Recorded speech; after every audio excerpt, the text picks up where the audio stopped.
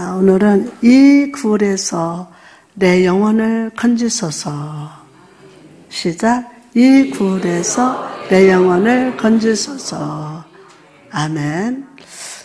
여러분 본 시편의 제목은 다윗이 굴에 있을 때에 지은 기도라고 되어 있습니다. 어디에 있을 때? 굴에 있을 때. 다윗은 모든 사람이 인정하는 이스라엘의 최고의 왕이었습니다. 그럼에도 다윗도 어두컴컴하고 음산한 절망의 장소인 그 굴 속에 갇힌 생활을 하였다는 사실은 우리에게 많은 교훈을 주고 있습니다. 뿐만 아니라 더더욱 놀라운 것은 그가 절망적인 굴 속에 있었을 때 무엇을 하였는가입니다. 그것은 오직 하나 기도였습니다. 오직 하나 기도. 이 같은 사실은 만일 우리가 어떤 굴에 갇히게 된 신세가 되었을 때 가장 필요한 것이 기도이며 이는 또한 하나님이 가장 기뻐하심을 믿으시기 바랍니다. 특히 주목할 만한 사실은 다윗의 전체적인 삶 가운데서 그의 가장 간절한 기도는 캄캄한 굴속과 같은 그 상황에 처해 있을 때 나왔다는 것입니다. 만일 그가 호화로운 왕국에 있을 때 지난날 굴속에서와 같은 기도 생활의 절반만이라도 했더라면 그처럼 많은 불미스러운 일이나 통탄할 만한 슬픈 일들을 일어나지 않았을 것입니다. 여러분, 우리 모두 다윗의 삶을 거울 삼아서 기도 생활을 게을리 하지 않도록 합시다. 아멘. 편안하고 건강했을 때는요, 기도의 자리에 나가기를 싫어하던 하나님의 백성들이 병상에 누워서야 깊은 영혼의 신음을 하나님께 토해낸다는 것은 슬픈 일이 아닐 수 없습니다. 어떤 새들은 자유롭게 날아다닐 때는 전혀 노래를 하지 않다가 일단 좁고 캄캄한 세상에 갇히게 되어서야 비로소 아름다운 소리로 노래를 잘 부르는 습성을 가진 새가 있다고 합니다. 요나 선지자를 보십시오. 하나님께 불순종하면서 그분의 얼굴을 피하기 위하여 다셋으로 가는 배를 탔을 때 그 모습은 어땠습니까? 그는 배 밑창에 내려가서 깊은 잠만 자고 있었어요. 하지만 풍랑에 갑자기 일어서 배를 깨뜨릴 듯이 덮치게 되고 배 안의 선원들에 의해서 깊은 바닷속으로 던져져서 큰 물고기에 삼키게 됐을 때 어떻게 했습니까? 그는 물고기 뱃속에서 죽음의 고통, 고통을 수없이 겪는 그 과정에서 최고의 기도를 하나님께 올려드렸던 것입니다.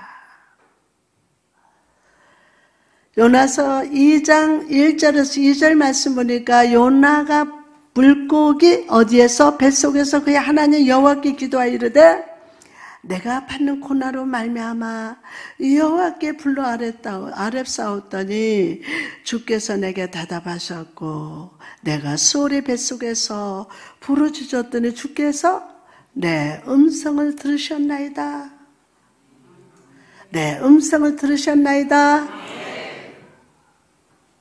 하나님은 이 물고기 뱃속에 갇혀 깊은 바다 밑에서 들려오는 요나의 기도를 기쁘게 받으셨어요.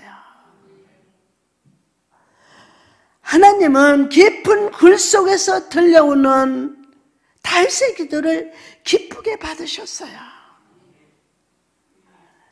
여러분은 지금 어떤 절망의 구 속에 갇혀 있습니까? 또한 그곳에서 지금 무엇을 하시려고 하십니까? 기도하십시오. 시작. 누구한테 하는 거요? 다시 한번 기도하십시오. 할렐루야. 여러분의 권사임직, 안수집사임직, 여러분, 기도는 예배하고 연결됩니다. 아멘. 일주일 동안 세상 일 엄청 많이 해요. 직장에서 돈 버니까 열심히 하고 막 눈치 보면서 이러고 저러고 하는데 하나님 눈치 보는 사람 하나도 없어. 하나님 아버지는 당연히 우리 봐줄 거야, 봐줄 거야.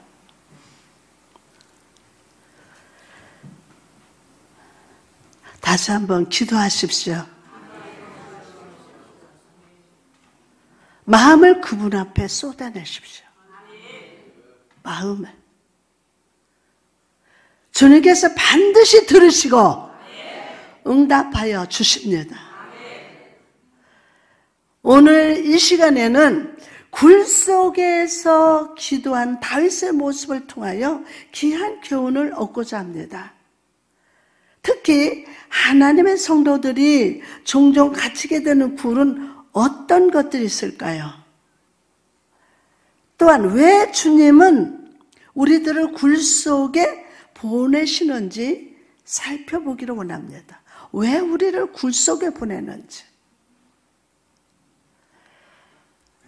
첫째로 해계의 굴에 대해 한번 살펴보도록 하겠습니다. 해계. 종종 하나님의 백성들이 죄 가운데 빠짐으로 인해서 갇히게 되는 굴이 있어요. 이들은 하나님의 백성임에도 불구하고 예식을 포도송이보다는 소돔의 포도즙을 더 사랑하면서 살았습니다. 이들은 샤론에 핀 백화파의 향기를 기뻐하기보다는 지옥의 물을 마시면서 이게 지옥의 물인지 이것 분별도 못하고 제약의 골짜기에 핀 사망의 꽃 향기를 더 즐기면서 살기를 기뻐합니다. 내가 옛날에 이렇게 살았어. 이렇게 죄짓는 거 해서 돈 벌어서 살았던 걸 이걸 그려하면 안 되죠. 하나님은 굴 속에 쳐 넣는다고. 굴 속에다가. 그것이 해계의 굴이에요.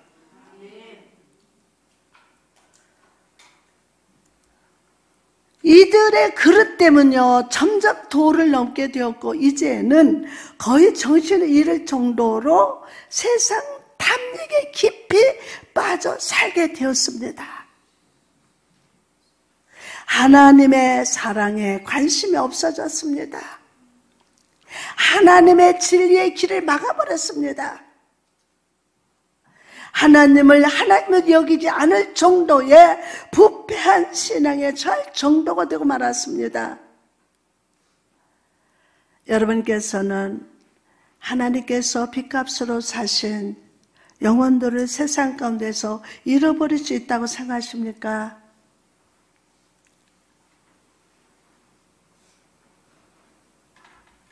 하나님께서 그의 자녀들을 오래도록 죄의 더러움에 그냥 내버려 둘 것이라고 생각하십니까? 마침내 하나님께서는 그들의 발에 족쇄를 채우십니다. 슬픔과 아픔의 제약으로 나아가는 타락의 길에 가시 울타리처럼 세워집니다. 그리고 밝은 햇살과 상쾌한 공기는 더 이상 제공되지 않게 되었습니다. 모든 세상적 의로들은 뿌리채 말라버리고 말았습니다. 과연 누가 이들의 슬픈 영혼을 우일해 줄 수 있을까요? 과연 누가 이들을 깊은 절망에 그 굴 속에서부터 건져낼 수 있을까요? 다윗도 영혼의 절망감을 이렇게 탄식하면서 슬퍼했습니다. 오늘 본문 4절 시작 오른쪽을 살펴보소서 나는 아는 이도 없고 나의 피난처도 없고 내 영혼을 돌보는 이도 없나이다 라고 했습니다. 만일 여러분이 이와 같은 감옥에 갇혀 있다면 어떻게 하시겠습니까? 감옥 문을 붙잡고 막 흔드시겠습니까? 굳게 닫은 쇠문을 힘껏 막 발골을 막 걷어차시겠습니까? 여러분은 이 모든 일이 아무 소용이 없는 일이라는 것을 곧 알게 됩니다. 혹시 여러분의 생각에 생각을 해서 그 옥에서 나오려고 시도하고 있습니까? 깊은 죄의 감옥에 갇힌 불쌍한 영혼. 여러분은 그 갇힌 세문을 열 수 있는 손이 따로 있다는 것을 깨닫지 못하십니까? 그 굳게 닫힌 빗장을 부술 권능은 다른 곳에 있다는 것을 알지 못하십니까? 어제 여러분은 겸손히 무릎을 꿇은 채 하나님만을 바라봐야 합니다. 바라봐야 할 줄 믿습니다. 아멘. 여러분의 방법으로는 안 돼요. 발굴로 쳐도 안 돼요. 아무리 흔들어대도 안 돼요. 시편 142편 1절에 내가 소리내어 여호와께 부르짖으며 소리내어 여호와께 간구하는 도다 라고 했습니다. 마치 어린아이가 자신의 잘못과 그 아픔을 어머니께 자세히 말하듯이 하나님 앞에 모든 실수와 잘못을 고백해야 합니다. 다윗이 내 우환을 그의 앞에 진술하는도다. 다윗이 내 우환을 그의 앞에 진술 진술하는도다. 라고 한 것처럼 그분 앞에 자신이 어떻게 죄를 지었는가를 낱낱이 아시기 바랍니다. 자신이 얼마나 굴레 벗긴 망아지처럼 자신만에 빠져 이리저리 날뛰면서 살아온 잘못을 그분께 고백하시기 바랍니다. 고백하시기 바랍니다. 예수 그리스도의 은혜가 아니면 나는 살아갈 수 없는 죄인이라는 고백이 여러분 심령 깊은 속에서부터 터져 나올 저다.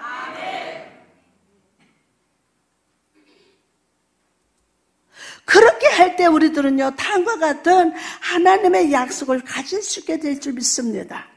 잠언 28장 13절 보니까 자기의 죄를 숨기는 자는 형통하지 못하나 죄를 자복하고 버리는 자는 불쌍히 여김을 받으리라. 비록 지금은 절망의 굴에 갇혀 있을지라도 그분 앞에 기뻐하고 감사하시기 바랍니다. 왜냐하면, 왜냐하면, 하나님께서 정말 우리의 죄를 심판하시기로 작정하셨다면 굴 속이 아니라 사형장으로 내 보내셨을 것이에요. 굴 속이 아니라 어디로? 사형장으로 내 보내셨을 거기 때문입니다. 굴 속이 아니라. 그분은 인자하심이 크신 분이십니다. 정말 믿습니까? 자, 주님은 인자하심이 크신 분입니다. 아시다?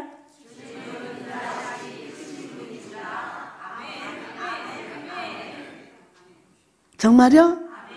그분은 노하기를 덜 다시는 분이십니다. 그분이 잠시 여러분을 찢으시면서 때리신 것은 본심이 아닙니다. 그분은 여러분의 죄를 자복하고 돌아오기만 한다면 모든 공경을 돌이켜 주시고 회복시켜 주시기를 기뻐하시는 자비의 하나님이심을 믿으시기 바랍니다. 그분은 모든 것을 용서해 주실 준비가 다 되신 하나님이십니다. 아멘. 오늘 그분을 환영하시기 바랍니다. 아멘. 호세아 6장 1절에 보니까 오라 우리가 여호와께로 돌아가자. 여호와께서 우리를 찢으셨으나 도로 낫게 하실 것이요. 우리를 치셨으나 싸매어 주실 것입니다. 아멘. 여러분, 우리 함께 여호와께 기도합시다. 다시 한번 여러분, 우리 함께 여호와께 기도합시다. 기도합시다. 우리의 기도가 아무리 허약한 기도일지라도, 예? 우리 기도가 아무리 허약한 기도일지라도 그분은 듣고 응답해 주십니다. 그분이 들으실 때, 예? 전능하신 우리 아버지가 우리의 기도를 들으실 때, 옥문의 빗장을 부서지게 될 것이며, 샘문은 활짝 열리게 될 것이며, 참된 자유와 회복의 은혜의 강물처럼 임하게 될 줄 믿습니다. 할렐루야. 아멘. 그러면, 그러면. 두 번째로, 쓸모 있는 자로 만드시는 굴에 대하여 살펴보도록 하겠습니다. 어떤 사람은 그리스도 안에서 큰 인물로 만드시고자 할 때, 먼저 그에게 그만큼의 시련을 보내시는 것이 하나님 뜻이에요. 옛사람 그대로 놔두지 않았어요. 두둥겨 부셔요. 불 속에 넣었다가 꺼내가지고 머리 딱 잡아가지고 물 속에 넣었다가 그 모습 그대로 거기서 축복을 줍니까? 옛날에 그렇게 살던 그대로 아니에요. 예?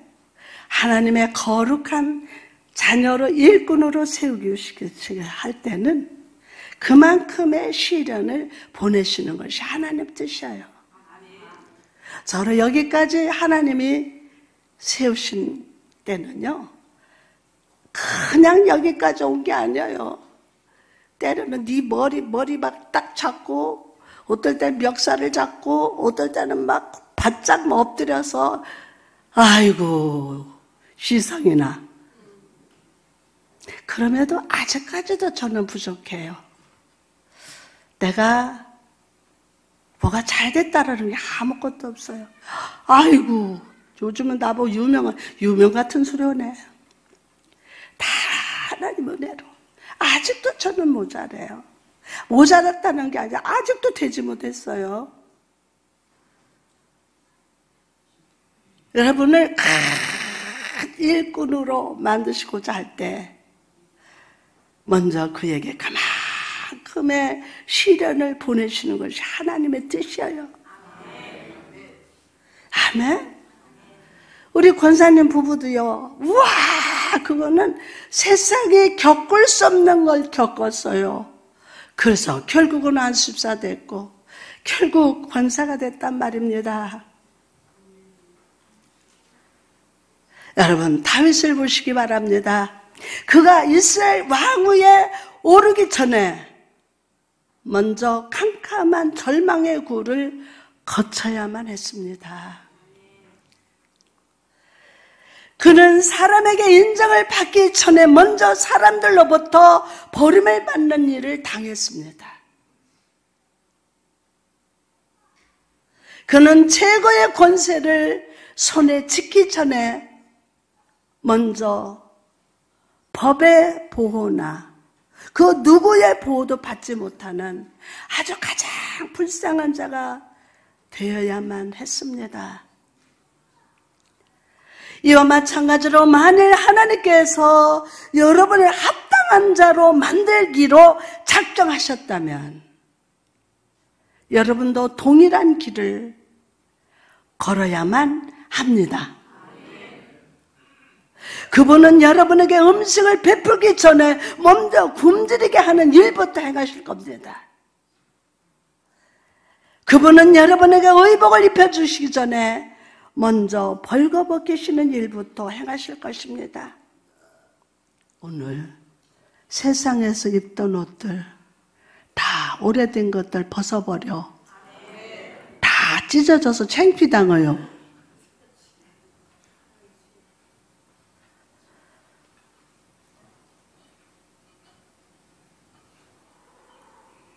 혹시 여러분께서 지금 벌거숭이 된 존재, 배고프고 굶주린 존재, 사람들 가운데 별 볼 일 없는 존재가 되었습니까? 그리고 이런 일들로 인해서 하나님 앞에 기도하고 있습니까? 자신을 더욱 낮추고 있습니까?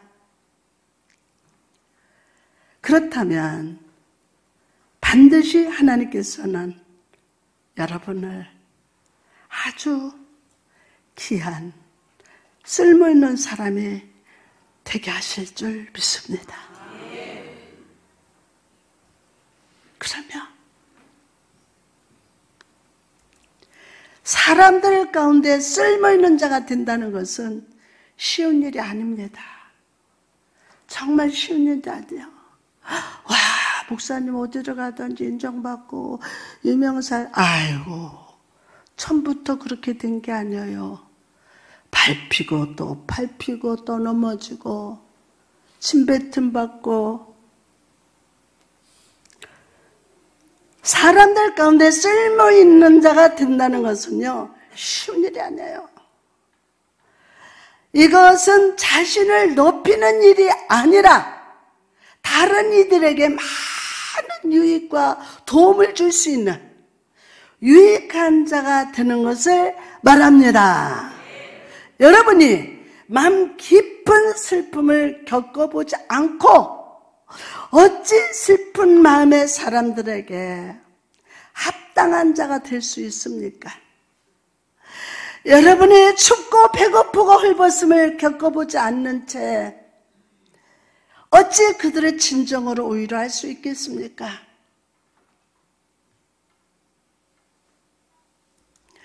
여러분이 가보지 못해, 못했으면서 어찌 다른 이들을 그곳으로 인도할 수 있단 말입니까? 여러분, 하나님은 우리를 쓸모 있는 자로 만들기 위해서 먼저 우리 마음의 깊은 웅덩이를 파괴하십니다. 아멘, 아니요? 그곳에 있던 교만함, 차가움, 더러움이 모두 파헤쳐져야 합니다. 파헤쳐져야 돼요.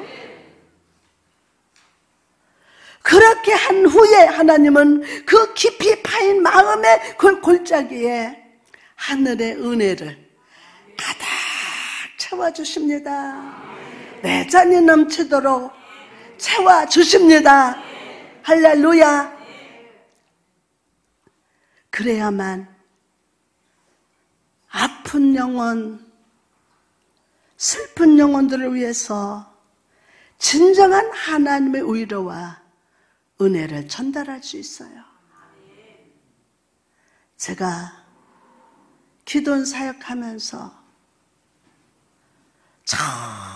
뭐 코로나 걸렸거나 말거나 끌어안아주고 끌어안다 보면 와, 와, 이 사람 이런 죄를 졌어? 근데 꼭 끌어안고 하나님 당신을 사랑한다고. 하나님은 그 사랑을 받아받고 배고파 받고 웅덩이에 파헤쳐 받고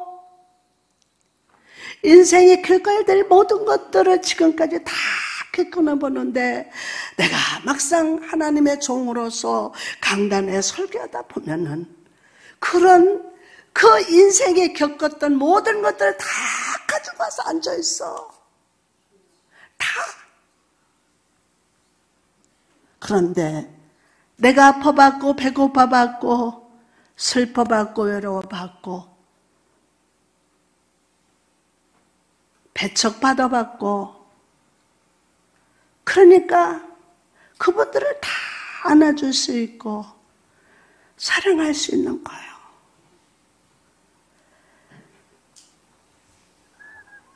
불신적인 사람들은 하나님의 뜻대로 순종해 나가고 있음에도 불구하고 기가 막힐 굴 속에 갇힌 상태가 된 여러분을 보고 뭐라 합니까? 비아냥거리면서 말할 수 있습니다.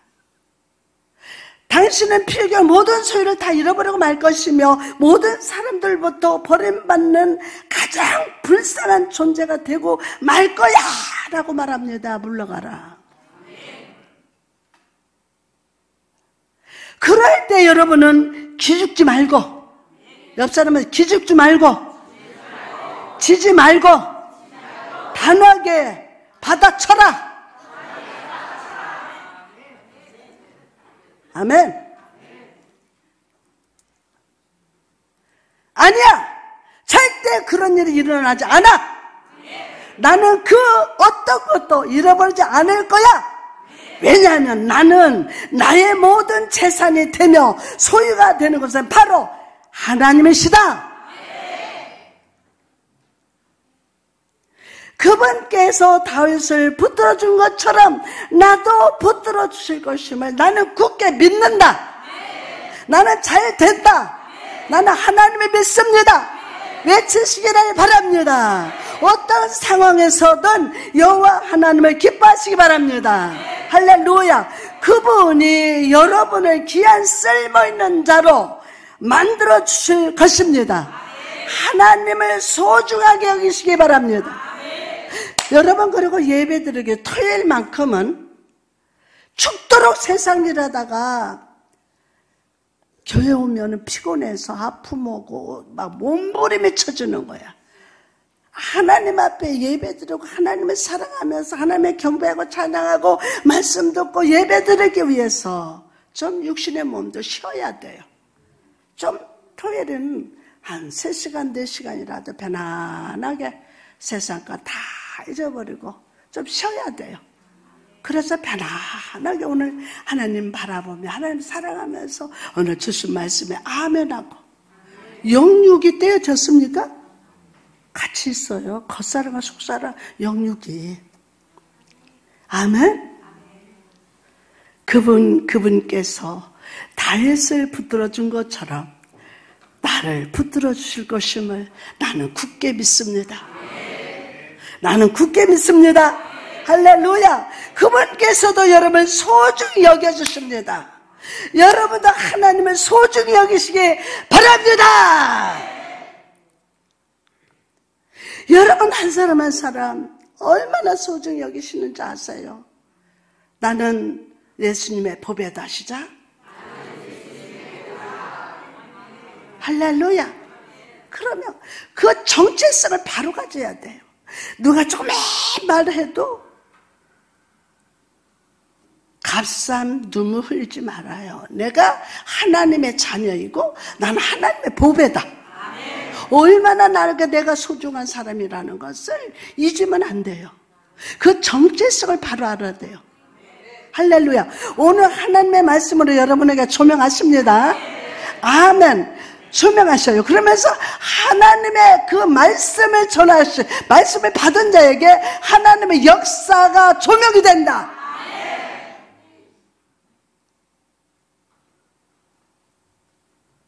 그분이 여러분 소중히 여기는 거. 시편 34편 4절에 보니까 또 여호와를 기뻐하라. 그가 내 마음의 소원을 내게 이루어 주시리라. 믿습니까? 여러분, 야곱을 떠올려보시기 바랍니다. 야곱이란 이름의 뜻은 발 뒤꿈치를 잡는 자란 의미로서 그의 삶은 항상 자신의 방법과 깨를 따라서 사는 삶이었어요. 깨를 따라서. 그는 자신의 깨로 안 못 보는 아버지를 속여서 장자권을 뺏었어요. 그는 자신의 깨로 형 예서를 속여서 장자권을 뺏었다고요. 과연 그의 손에 많은 것들을 지었기 때문에 사람들 가운데 쓸모있는 자가 되었을까요? 절대 그렇지 않습니다. 오히려 그는 가족들에게 미움을 받으며 복수심을 일으키게 만든 가장 쓸모없는 자가 되고 말았어요. 하나님은 이런 야곱을 외삼촌 라반의 집에서 무려 몇 년? 무려 몇 년? 에? 25년? 20년을 훈련시키셨어요. 저는 41년을 훈련받았어요. 사역하는 그날부터 계속 훈련했어요. 논산 훈련소. 내가 사나이야. 사나이로 태어나서 할리단 이거 부르면 눈물 나와.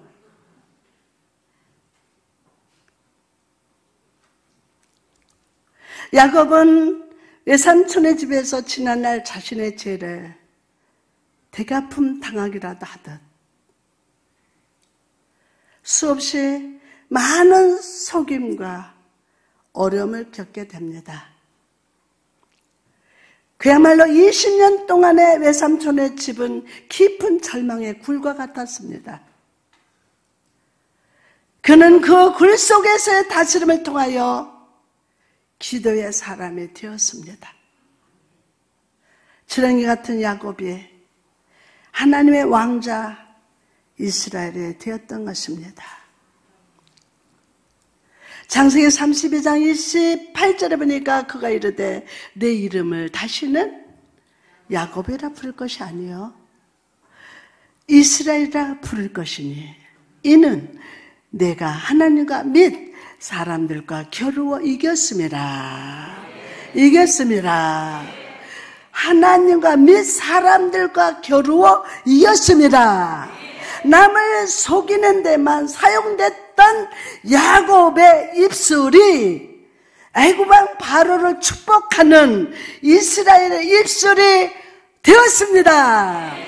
나의 것을 훔치는데 나의 것을 훔치는데 사용됐던 야곱의 손이 이스라엘 열두 지파를 축복해주는 이스라엘 손이 되었습니다. 오늘 이 야곱의 축복이 여러분의 것이 될 줄 믿습니다. 아이고 아멘 소리가 안 들려. 오늘 이 야곱의 축복이 여러분의 것이 될 줄 믿습니다. 할렐루야. 아멘. 여러분도 야곱처럼 주를 모르는 영혼에게 축복하고 우리 환경을 축복하는 자가 되시기를 주님의 이름으로 축원합니다. 할렐루야. 오늘 성령께서 여러분 가운데 하나님의 쓸모없는 자를 쓸모 있는 자로 만드시는 역사 일어납니다. 지금 웅덩이에 빠져서 힘듭니까? 그 웅덩이 속에는 여러분의 정말 인생 세 살을 사면서 어마어마한 제약들이 다 빠져나오기 시작합니다. 아멘. 적당히 예수 믿는다. 아닙니다. 왜 우리 집은 이래? 아닙니다. 그 마음에 웅덩이가 파져서 썩어가고 있는데 거기에다 대고 물질 주고 뭐 주고 줘요? 아닙니다. 하나님은 그걸 다 들춰내서 아멘 깨끗한 그 웅덩이에 하나님의 은혜로 내전이 넘치도록 부어 주십니다. 할렐루야. 누구는 저렇게 잘 되는데 그것만 보냐? 내 속에 그 죄악의 웅덩이가 그대로 있고는 그 속에 은혜가 들어갈 수 없어. 그 속에 축복이 들어갈 수가 없어.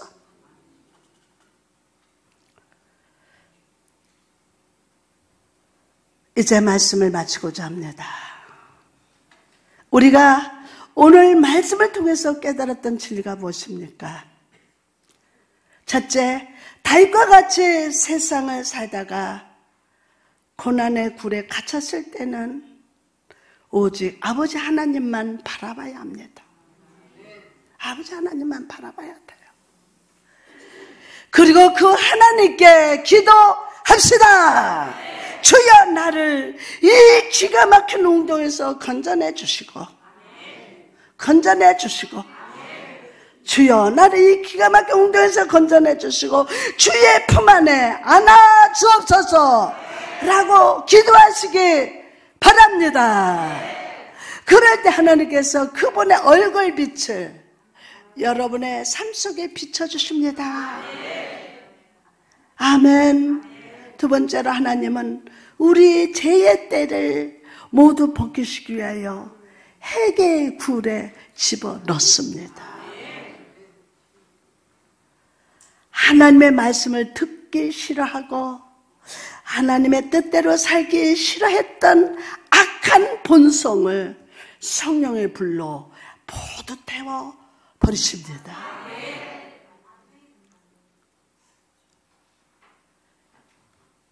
그 빈자리에 하늘 한 은혜와 능력으로 채우기 위하여 우리를 고난의 굴, 연단의 굴에 보내십니다.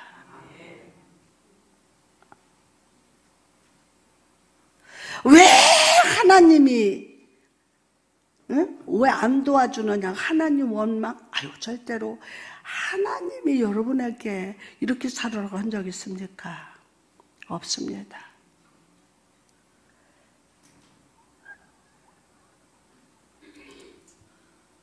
아내를 위해서 사업 그 하던 그 아주 큰 모든 기계를 다 멈추고 오직 하나 아내를 살리기 위해서 조그만 방에 와가지고 6개월을 같이 기도하고 역사는 그것이 나는 아직도 남아있어서 여러분 오늘 제약의 웅덩이 발견할저다. 내가 그 제약의 웅덩이가 있는지도 몰라 하나님 그냥 와서 주여 도와주세요 살려주세요 복 주세요 천만에 목사님 지금 설교가 너무 냉정하십, 냉정합니까? 아니요. 이 과정이 필요해요.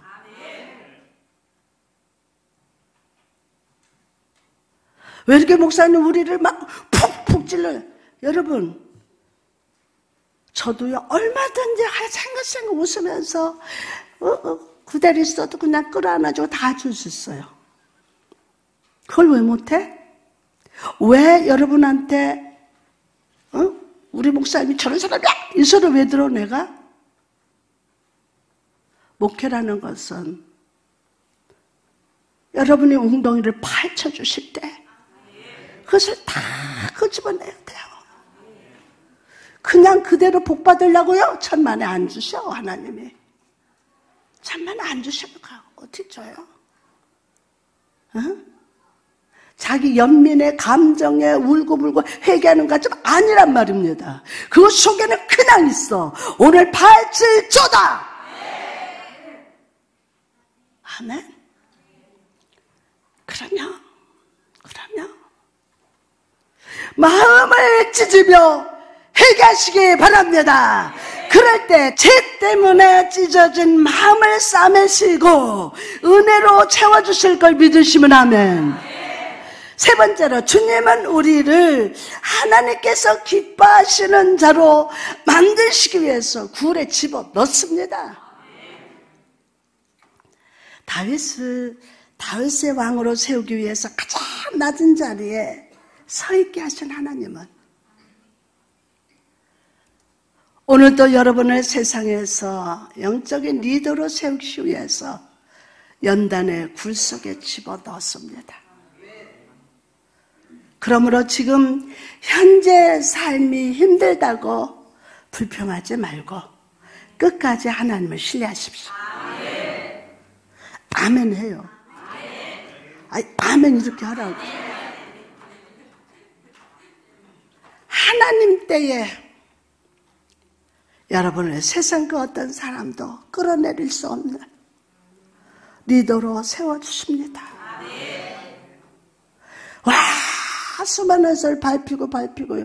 여자 목사가 뭐하러 와, 그 어마어마한 막 성교사들 쫙 앉았는데 이 남자 목사하고 같이 강사야. 그래서 내가 나를 먼저 인사시키더라고.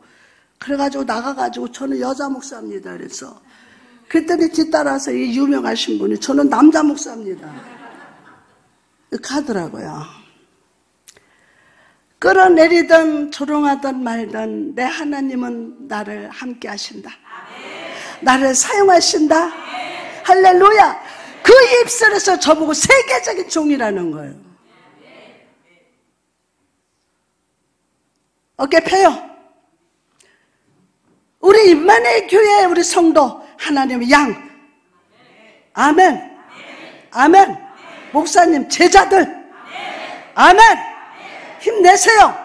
운동 있어요? 같이 파내자고. 그럼 그럼 괜찮아. 오늘부터 역사 일어나. 말씀 받았습니까? 그러면 말씀에 새롭게 하신다. 그러면 그러면